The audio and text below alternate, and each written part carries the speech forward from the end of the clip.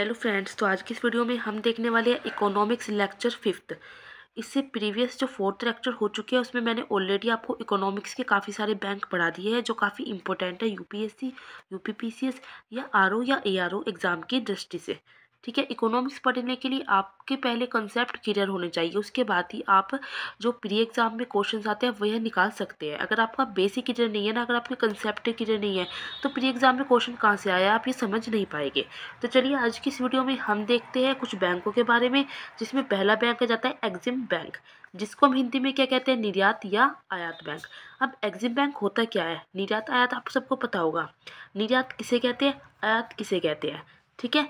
देखिए एग्जिम में एग्जिम दो वर्ड से मिलकर बना है। चार वर्ड है वैसे तो अगर हम दो दो डिवाइड कर ले ई एक्स का मतलब होता है एक्सपोर्ट जिसको कहते हैं निर्यात, और आई एम का मतलब होता है इम्पोर्ट मतलब जिसको हम क्या कहते हैं, आयात। आयात किसे कहते हैं? देखिए, मैं आपको समझाती हूँ, आपको याद रखने की ट्रिक भी आ जाएगी। यहाँ से इम्पोर्ट इंग्लिश में कहते हैं आयात को इम्पोर्ट इम्पोर्ट मतलब क्या होता है? इम्पोर्टेंट मान ले इम्पोर्टेंट क्या होता है? महत्वपूर्ण। जो चीज़ हमारे पास क्या है? बहुत ज़्यादा महत्वपूर्ण है। ठीक है? कोई चीज़ हमारे लिए बहुत ज़्यादा महत्वपूर्ण है, बहुत ही ज़्यादा इंपॉर्टेंट है तो उसको हम एकदम से मंगवा लेते हैं। मंगवा लेते हैं मतलब बाहर से मंगवाना हो गया आयात, और जो चीज़ ज़्यादा मात्रा में उसको भेजना क्या हो गया? निर्यात। ठीक है? आयात मतलब जो चीज़ हमारे पास ज़्यादा है, उस जो चीज़ हमारे, हमको मंगवानी है, वो हम बाहर से मंगवा लेते हैं, और निर्यात का मतलब जो चीज़ हमारे पास ज़्यादा है, उसको हम बाहर भेज देते हैं एक्सपोर्ट कर देते हैं। तो एग्जिम बैंक निर्यात या आयात बैंक की स्थापना कब हुई थी? एक जनवरी उन्नीस सौ बयासी को इसकी स्थापना हुई। इसके हेड क्वार्टर की बात करें, कहाँ है? तो मुंबई में इसका हेड क्वार्टर है। ठीक है? एग्जिम बैंक की स्थापना से पहले, एग्जिम बैंक की स्थापना से पहले यह कार्य कौन करता था? आईडीबीआई का एक विभाग करता था। अब एग्ज़ाम में क्वेश्चन आ जाएगा ना आईडीबीआई एग्जिम बैंक की स्थापना से पहले एक्जिम बैंक के कार्य कौन करता था? तो आप एकदम लगा दोगे आईडीबीआई लेकिन आईडीबीआई का एक विभाग करता था। उस विभाग का नाम क्या है? अंतर्राष्ट्रीय वित्त विभाग। ठीक है? तो देख लेना कि जब आपके ऑब्जेक्टिव क्वेश्चन आते हैं तो ऑप्शन से में आपका अंतर्राष्ट्रीय वित्त विभाग भी होगा। तो अंतर्राष्ट्रीय वित्त विभाग लगाना है। ठीक है? एग्जिम बैंक का मुख्य कार्य क्या है? आयातकों और निर्यातकों को फंड प्रदान करना है। एग्जिम बैंक न केवल भारत में देता है, अपितु तो तीसरी दुनिया के देशों को भी वस्तु और सेवाओं के निर्यात और आयात हेतु ऋण उपलब्ध कराता है। आपको कमेंट से मुझे बताना है, तीसरी दुनिया के देशों की बात हो रही है तो ये कौन से है? सिंगापुर, बुडापेस्ट आदि देशों में एग्जिम बैंक के कार्यालय मौजूद है।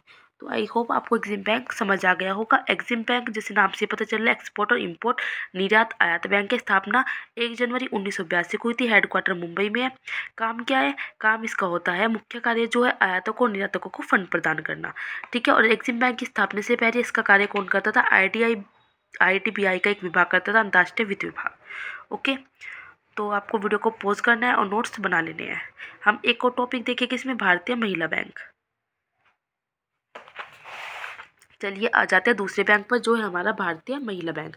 स्थापना कब हुई थी? नवंबर 2013 में हुई है और मुंबई में स्थापना हुई है। इसकी हेडक्वार्टर की बात करें तो दिल्ली में, आपको याद रखना इंपॉर्टेंट है काफ़ी। भारतीय महिला बैंक की शुरुआत क्यों हुई? क्यों इसकी स्थापना की गई? महिलाओं को कम ब्याज दर पर ऋण देना, ताकि वे छोटा व्यवसाय शुरू कर सके। ठीक है? इसकी विशेषता क्या थी? यह थी कि भारत का पहला सार्वजनिक मतलब पब्लिक क्षेत्र का बैंक था, जिसके निदेशक मंडल में सभी क्या थी? सभी महिलाएँ थी। और इसके साथ शाखाएँ खुली। शाखाएँ कहाँ कहाँ खुली ये आपको याद रखना है। मुंबई में खुली बेंगलोर, दिल्ली, गुवाहाटी, चेन्नई, लखनऊ, अहमदाबाद और एक अप्रैल 2017 से SBI, State Bank of India में इसका विलय कर दिया गया। याद रखना है, काफ़ी इंपॉर्टेंट है, भारतीय महिला बैंक स्थापना कब हुई? नवंबर 2013 मुंबई में मुख्यालय हेडक्वार्टर इसका दिल्ली में है। महिलाओं को कम ब्याज दर पर ऋण देना ताकि वे छोटा व्यवसाय शुरू करें। भारत का पहला सार्वजनिक क्षेत्र का बैंक था, जिसके निदेशक मंडल में सभी महिलाएँ थी।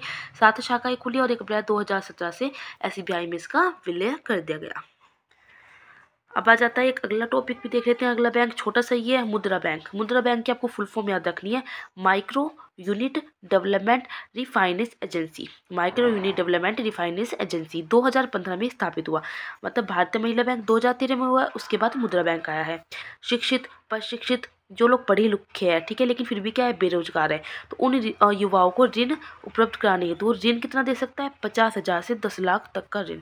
इसकी स्थापना सिडबी के अधीन की गई थी, ठीक है। फुल फॉर्म याद रखना है, स्थापित कब हुआ था और क्यों हुआ था, आपको याद रखना है।